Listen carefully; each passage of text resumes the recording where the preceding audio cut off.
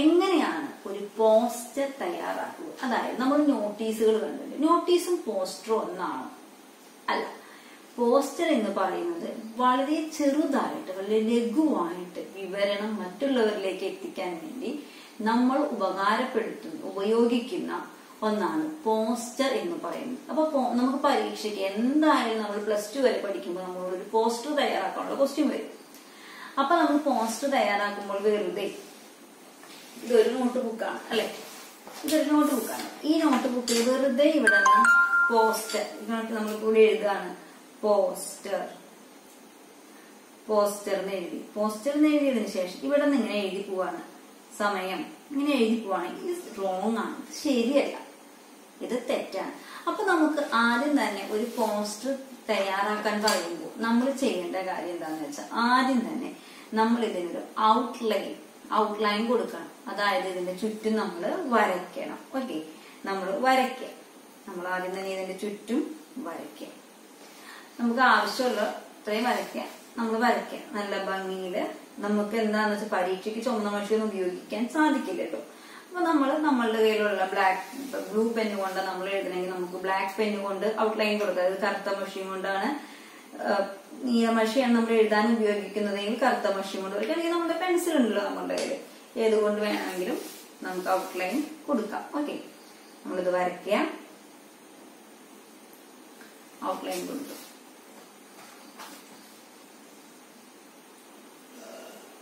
അപ്പൊ നമ്മുടെ ഔട്ട്ലൈൻ ആയി. അല്ലെ ഇനി നമുക്ക് ഇവിടെ എന്ത് ചെയ്താം? നമ്മുടെ തലക്കെട്ട് എന്താണ് തലക്കെട്ട്. തലക്കെട്ട് നമ്മൾ ഇംഗ്ലീഷ് സാധാരണ എപ്പോഴും നമ്മൾ പറയുന്ന ഒരു പേര് ഹെഡിങ് എഴുതുക ഹെഡിങ് എഴുതുക. ആ, ഇതാണ് തലക്കെട്ട്. അപ്പൊ ടീച്ചർ നിങ്ങൾക്ക് ഒരു വാർഷികാഘോഷം എം എം സ്കൂളിൽ വാർഷികാഘോഷം. അതാണ് ടീച്ചർ നിങ്ങൾക്ക് തരുന്നത്. അപ്പൊ നമ്മൾ ആദ്യം എന്ത് എഴുതും? അതിന്റെ ഹെഡിങ് കുറച്ച് വലുതാക്കി എഴുതണം. നമ്മൾ ശ്രദ്ധിക്കുക. മലയാളം പരീക്ഷ എഴുതുമ്പോൾ ദയവ് ചെയ്ത് നമ്മൾ അവിടെ ഇംഗ്ലീഷ് അക്ഷരങ്ങൾ ഉപയോഗിക്കാതിരിക്കാൻ പ്രത്യേകം ശ്രദ്ധിക്കാം. അപ്പൊ ആദ്യം പോസ്റ്റർ ആണല്ലേ? അപ്പൊ നമുക്ക് ഒരു ഹെഡിങ് കൊടുക്കാം. പോസ്റ്റർ. എന്താണ്? പോസ്റ്റർ. പോസ്റ്റർ. ഓക്കെ പോസ്റ്റർ എന്ന് ഹെഡിങ് കൊടുത്തു.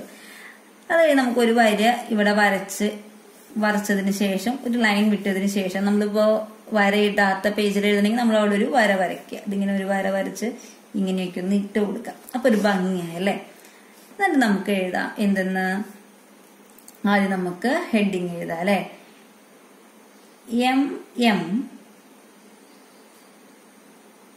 എം എം വിദ്യാലയത്തിലെ ഇത് വായാണ്. ടീച്ചർ എഴുതിയപ്പോൾ കുറച്ച് പോയി വായ്പളും വാ തുറന്ന് തന്നെ ഇരിക്കണം കേട്ടാ വിദ്യാലയത്തിലെ വിദ്യാലയത്തിലെ വാർഷികാഘോഷം.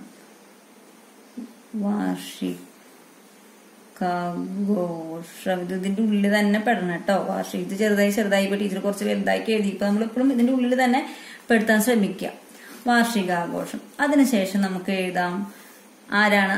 ഇനി ശ്രദ്ധിക്കേണ്ട കാര്യം നമ്മളൊരു പോസ്റ്റർ തയ്യാറാക്കുമ്പോൾ അല്ലെങ്കിൽ ഒരു നോട്ടീസ് തയ്യാറാക്കുമ്പോൾ അതിനൊരു ഘടനയുണ്ട്. ഓക്കെ ഒരു പരിപാടി ചെയ്യുമ്പോൾ ആദ്യം നമ്മൾ അതിന്റെ അധ്യ ഉദ്ഘാടകന്റെ പേരല്ല എഴുതുക. പിന്നെ ആരുടെ പേര് എഴുതുക? അധ്യക്ഷൻ. ഉദ്ഘാടകനേക്കാളും മുൻപ് നമ്മൾ എഴുതേണ്ട പേരാണ് അധ്യക്ഷൻ. അപ്പൊ നമുക്ക് എഴുതാം. അധ്യക്ഷൻ. അധ്യക്ഷൻ. ഓക്കെ അധ്യക്ഷൻ. അധ്യക്ഷന്റെ പേര് നമുക്ക് ഇവിടെ എഴുതാം. അധ്യക്ഷൻ. നമുക്ക് പ്രധാന അധ്യാപകൻ എന്ന് കൊടുക്കാം. പ്രധാന പ്രധാനാധ്യാപകൻ. ഓക്കെ പ്രധാനാധ്യാപകൻ. ഇനി നമുക്ക് അടുത്തത് തന്നെ. അടുത്തതാണ് മക്കളെ വരിക ഉദ്ഘാടനം. അടുത്തതാണ് എന്ത് വരിക? ഉദ്ഘാടനം. ഉദ്ഘാടനം. ഉദ്ഘാടനം. ഉദ്ഘാടനം നമുക്ക് ബഹുമാനപ്പെട്ട വിദ്യാഭ്യാസ മന്ത്രി. അപ്പൊ ഉദ്ഘാ ഇപ്പൊ ടീച്ചർ കൂടെ എഴുതണില്ല ഉദ്ഘാടകന്റെ പേര് എഴുതാം. അതിനുശേഷം നമുക്ക് തീയതി. എന്താണ് എഴുതേണ്ടത്? തീയതി. തീയതി എന്നാണോ അതവിടെ എഴുതാം. അതിനുശേഷം നമുക്ക് സമയം.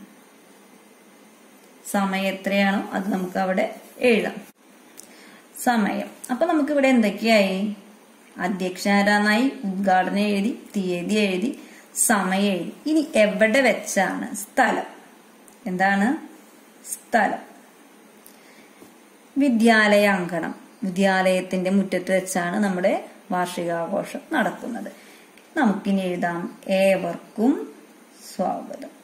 ഏവർക്കും സ്വാഗതം. സ്വാഗതം. ഇത്ര എഴുതി കഴിഞ്ഞാൽ നമ്മുടെ ഒരു പോസ്റ്റർ ശരിയായി. അപ്പൊ ഇതിനകത്ത് ഇപ്പൊ എല്ലാം എന്തുവായി ആശയങ്ങളും ഇതിന്റെ ഉള്ളിലുണ്ട്. വളരെ ചെറുതാണ്. വാർഷികാഘോഷമാണ്. അധ്യക്ഷൻ ആരാന്നായി? ഉദ്ഘാടനം ഉണ്ട് തീയതി നമ്മൾ എഴുതി. അല്ലെ? സമയം എഴുതി സ്ഥലവും കൊടുത്തു. ഇനി നമുക്ക് ഏവർക്കും സ്വാഗതം കൊടുത്തു. തൊട്ട് താഴെ വേ നമുക്ക് സൂചിപ്പിക്കാം. വിവിധ കലാപരിപാടികൾ ഉണ്ടായിരിക്കും. വിവിധ കലാ പരിപാടികൾ പാടികൾ ഉണ്ടായിരിക്കും. ഉണ്ടായിരിക്കും. ഓക്കെ. ഇവിടെ തികഞ്ഞില്ല കേട്ടോ ടീച്ചറുടെ നമ്മൾ മാക്സിമം കൊള്ളിക്കാൻ ശ്രമിക്കാം. വിവിധ കലാപരിപാടികൾ ഉണ്ടായിരിക്കും. ഇത്രയും ആയി കഴിഞ്ഞാൽ തന്നെ ഒരു പോസ്റ്ററായി കണ്ടു നമുക്ക് എല്ലാ ആശയങ്ങളും കിട്ടി എന്നാൽ വളരെ സിമ്പിളാണ് ഓക്കെ ഇങ്ങനെയാണ് നമ്മൾ എന്ത് ചെയ്യുക? ഒരു പോസ്റ്റർ തയ്യാറാക്കുക. ഇതിപ്പോ നമ്മൾ നോക്കണ അധ്യാപകന് മനസ്സിലാവും. ഇപ്പൊ ക്വസ്റ്റ്യൻ നമ്പർ ഫൈവ് ആണ്. നമ്മൾ കൊടുത്തു കഴിഞ്ഞാൽ പോസ്റ്റർ ആണെന്ന് ഒരു അധ്യാപകന് മനസ്സിലാവും. ഒരു ബുദ്ധിമുട്ടും ഇല്ല. അധ്യാപകന് അറിയാതെ പോസ്റ്റർ ആണ് എന്നുള്ളത്.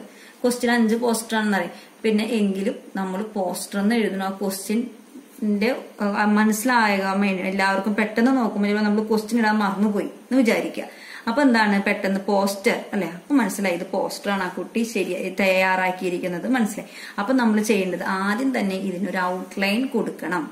നാല് വര നാല് ഭാഗം അതായത് നാല് സൈഡിലും വരകൾ വരയ്ക്കണം. ഓക്കെ അതിനുശേഷം നമ്മളിത് കൊടുത്തു. ഹെഡിങ് കുറച്ചും ടീച്ചർ ഏതാണ്ട് എല്ലാം ഒരേ ഇതുപോലെയെങ്കിലും കുറച്ചും കൂടി വലുതാക്കി എഴുതുക. അതിനുശേഷം നമ്മൾ വരകൾ കൊടുത്തു അപ്പൊ എല്ലാം ഇതിൽ ഉൾക്കൊണ്ടു ഉൾക്കൊള്ളുകയും ചെയ്തു. വളരെ ചെറുതായിട്ട് തയ്യാറാക്കാനും സാധിച്ചു. ഇതാണ് പോസ്റ്റർ എന്ന് പറയുന്നത്. അപ്പൊ പോസ്റ്ററും നോട്ടീസും നമ്മൾ വ്യത്യാസമുണ്ട്. എന്താണ് നോട്ടീസ് എന്നുള്ളത് നമുക്ക് ഇനിയുള്ള ക്ലാസ്സുകളിൽ നോക്കാം.